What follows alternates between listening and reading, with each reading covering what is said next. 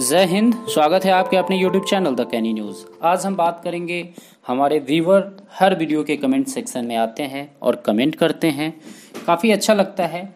हमारे कुछ जो व्यूवर हैं, जैसे कि लार्जेस्ट स्कीम से संबंधित हमारे कई व्यूवर हैं, जो हमारे हर वीडियो के कमेंट सेक्शन में आते हैं और कमेंट करते हैं कि लार्जेस्ट स्कीम क्लियर करवाया जाए मेडिकल फिट जो है, सो कि उनको जॉब दिया जाए नन मेडिकल ऑल पेंडिंग है, उनका काम करवाया जाए।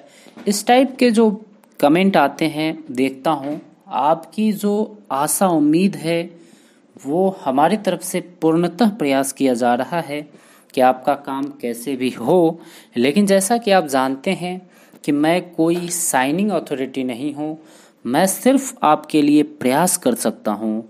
और आपके लिए आवाज़ उठा सकता हूँ। आपको भी प्रयास करना है, अपने लिए आवाज़ उठाना है। तो आप लोग अपना प्रयास करते रहिए, हम भी आपके लिए प्रयास कर रहे हैं। दूसरा, हमारे लगभग हर जोन से ही कमेंट आता है कि हमारा इस जोन में मेडिकल फिट है, हमारे पिताजी ऑन ड्यूटी हैं, या हमारे पिताजी रिटायर हो गए हैं, या फिर हमारा मेडिकल नहीं हुआ है। हम सत्ताईस दस दो हज़ार सत्रह के पहले मेडिकल करवा लिए हैं, या फिर सेकंड साइकिल का हो गया फ़र्स्ट साइकिल हमारा नहीं हुआ, ये गलत तरीके से हुआ है, इस टाइप के बहुत सारे कमेंट होते हैं। हम आपके भावनाओं को समझ रहे हैं, हम आपके फीलिंग्स का कद्र कर रहे हैं और आपके लिए प्रयास कर रहे हैं। साथियों, हम प्रयास कर सकते हैं, हम प्रयास कर रहे हैं। आप भी अपने लिए संघर्ष कीजिए, प्रयास कीजिए। और हमारा सपोर्ट बनाए रखिए। और सबसे बड़ी बात यह है कि हम जो भी न्यूज़ डालते हैं या कोशिश करते हैं कि हंड्रेड परसेंट वो न्यूज़ सटीक हो, ऐसे कोई भी न्यूज़ उठा के नहीं डाल देते हैं। जैसे कि इस मुद्दे पे हमको एक बात याद आ रहा है, आज से बहुत कुछ महीने पहले मैंने देखा था, भारतीय रेलवे माल गोदाम श्रमिक संघ के तरफ़ से किसी एक चैनल ने हमारा एक इंटरव्यू को ही अपने यूट्यूब चैनल पर डाल दिया था, जो कि श्रमिक संघ के रिगार्डिंग उसमें कहीं कोई ज़िक्र नहीं था, फिर भी वो डाल दिया था। कुछ लोग टीआरपी के लिए यूट्यूब चलाते हैं, अपना व्यू बढ़ाने के लिए चलाते हैं वैसा मैं नहीं करता हूँ। मेरे पास जब तक ऑथेंटिक जानकारी नहीं आती है मैं कोई भी वीडियो यूट्यूब पे पोस्ट नहीं करता हूँ। इसलिए कई हमारे साथी जो भारतीय रेल माल गोदाम श्रमिक संघ से हमारे साथ जुड़े हैं वो भी आ, कमेंट सेक्शन में आके कमेंट करते हैं कि कुछ अप टू डेट दीजिए। मैं आपसे वादा करता हूँ बहुत जल्द हम आपको अप टू डेट दूँगा और ऑथेंटिक अप टू डेट दूँगा जिसमें आपको टू द पॉइंट कुछ जानकारी मिल सके। ऐसे कोई भी चीज़ हम उठा के नहीं डाल सकते हैं। उसके लिए थोड़ा सा आपको इंतज़ार करना पड़ेगा, क्योंकि हम लगातार प्रयास में है कि भारतीय रेल माल गोदाम श्रमिक संघ के कोई भी बड़े लीडर से हमारा संपर्क हो जाए और उनका हम इंटरव्यू करके टू द पॉइंट आपको जानकारी प्रोवाइड करवा सकें। क्योंकि जो हमारे पास पुराना नंबर था, वो नंबर आजकल लग नहीं रहा है।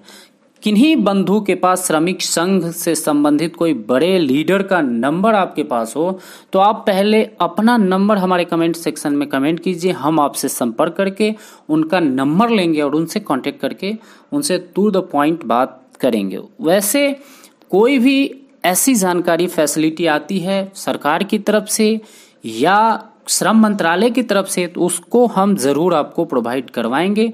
लेकिन अभी कोई वैसी न्यूज़ नहीं आ रही है, इसलिए आपको मैं अप टू डेट नहीं दे पा रहा हूँ और कुछ भी मैं नहीं देता हूँ।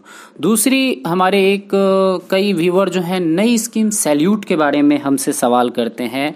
तो सैल्यूट के बारे में ये आपको मैं बता दूँ कि सैल्यूट के बारे में कोई यूनियन और फेडरेशन के लीडर अभी कुछ बोलने के मूड में नहीं है, हम ये कह सकते हैं। क्योंकि एक तरफ़ से रेलवे बोर्ड ये नहीं मानने को तैयार है कि हम वार्ड को जॉब देंगे और बहुत सारे कैटेगरी को इसमें शामिल करेंगे। और यूनियन ये चक्कर में है कि वार्ड को जॉब मिले और दो कैटेगरी के अलावा और भी कई कैटेगरी इसमें शामिल हो। हालाँकि ये यूनियन की मांग बिल्कुल जायज़ है। इसमें मोस्ट ऑफ़ द जो कैटेगरी सेफ्टी से जुड़े हैं, उनको लाना चाहिए, सफ़ाई वाले से लेके पोर्टर और उसके साथ साथ लोको पायलट और जितने भी लोग हैं सबको आना चाहिए। ट्रैक मेंटेनर तो सेफ्टी में है ही। तो ये सब लोगों को लाना चाहिए। तो उम्मीद है कि आने वाले कुछ समय में आपको मैं सटीक जानकारी सैल्यूट पे दे पाऊँ। अभी फ़िलहाल यही सिर्फ़ जानकारी है कि यूनियन वाले रेलवे बोर्ड का जो प्रपोजल है, वो मानने को तैयार नहीं है। और रेलवे बोर्ड यूनियन वाले के प्रस्ताव को स्वीकार करने के मूड में नहीं है। तो इस पे अभी वार्तालाप चल रही है, ये अभी पेंडिंग में है। इस पर कुछ अप टू डेट आती है तो हम अवश्य आपको जानकारी देंगे। तो कहने का मतलब है कि यही सब अप टू डेट आपको इसमें कुछ खास जानकारी नहीं है, लेकिन फिर भी मैं अपने तरफ़ से दे दिया कि आने वाले समय में सभी इशू पे वीडियो बनाया जाएगा ऑथेंटिक जानकारी आपको दी जाएगी और श्योर निश्चित आपको जानकारी दी जाएगी।